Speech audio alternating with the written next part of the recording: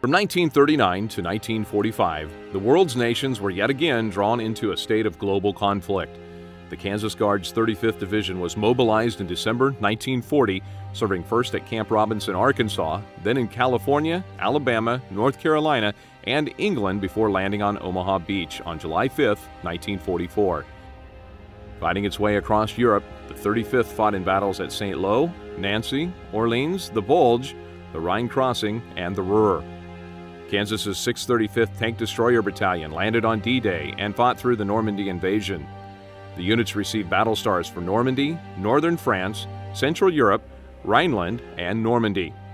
The 127th Observation Squadron from the Wichita, Kansas Army Air Corps was organized and mobilized in 1941 and sent to the Pacific Theater in the fall of 1944.